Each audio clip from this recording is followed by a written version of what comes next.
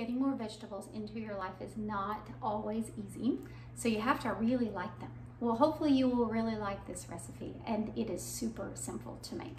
This is a sweet curry glaze that you can really put on any vegetables, but today I'm going to be putting it on cauliflower and butternut squash. Throw in a few cranberries just to make it even a little sweeter.